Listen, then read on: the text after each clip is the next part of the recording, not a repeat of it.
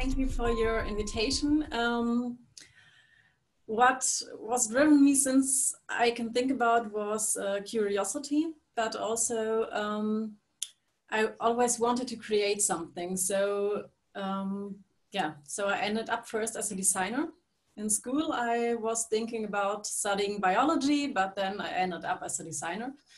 Um, I studied fashion design, and more and more I was thinking about the environment, and I was using a lot of leather during my studies, and um, which was also because my mother um, she was making um, fur coats.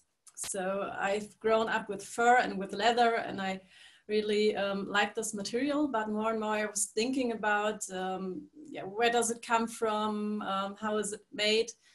And I was looking for alternatives, and this was the time during my um, fashion study when I stumbled about. Um, I stumbled over Suzanne Lee. I don't know if you know those things. Um, it's kind of fashion made of kombucha leather. I don't know if everybody of you knows kombucha. It's um, now it's a little bit like a wellness drink. Um, it's fermented by um, acetobacter, so um, like bacteria, but also uh, like uh, some yeasts are in this culture. And when you grow, grow it, you have like a thick um, skin on top of the liquid. And if you dry this, you have a material which, which feels a little bit like leather. Um, and I was really touched by this material because it's natural and it feels like leather a little bit. And it is very unique, like leather, which is grown, which is unique. Um, this material is too. I'm sorry for the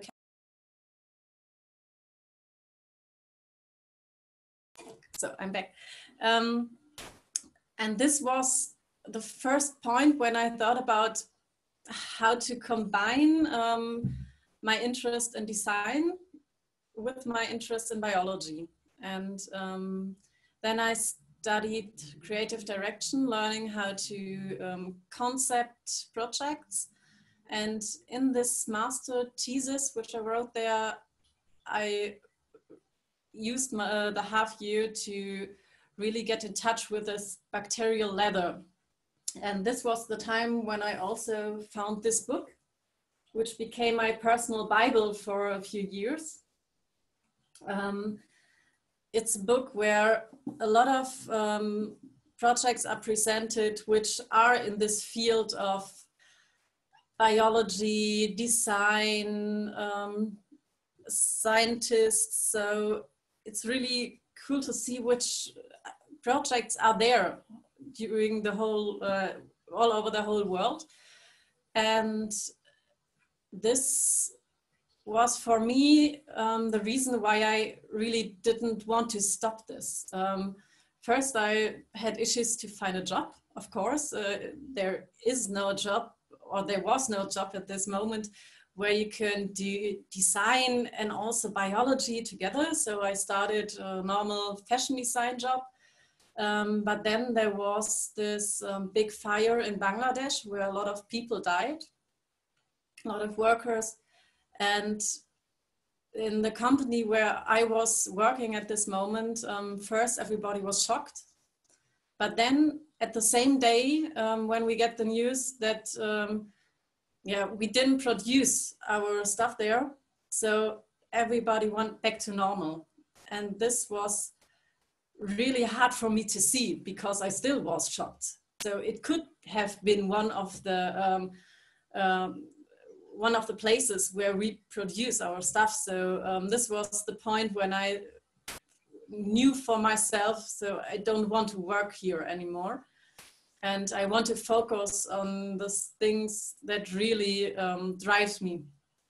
And yeah, so I found out about the Folkwang University of Arts. They had this transdisciplinary program at this moment there. And so I had three years to focus on my topic. So the next three or four years, I was working with bacterial cellulose, with mycelium materials, so I had so free time and a free space where I really could do experiments, yeah, somewhere between design and um, science. And this was the moment when I also started to work for the Fraunhofer Institute there. And um, yeah, it was a really good time because I felt how it was moving that we were different disciplines which were working together. And yeah, now I work there since 2014 now, first as a student, now really as a scientist. On paper, I work as a scientist, but I feel like a bio, designer, scientist, creative director. So um, I think there is no, no title for this job I really, I'm doing. And um, yeah, so I'm always in the field of different people, different um, different disciplines, and it's really good to see how they work together very well. So I also work for the um, for the University of Arts in Bielefeld uh, a few times, and there I see how the different disciplines of the university, which they have there, there's, there are designers, but there are also uh, engineers, and they work together creating new projects. And I think there's so a lot which can grow out of this, um, this transdisciplinary work which they are doing. And I, I really appreciate to see that it's more and more growing worldwide.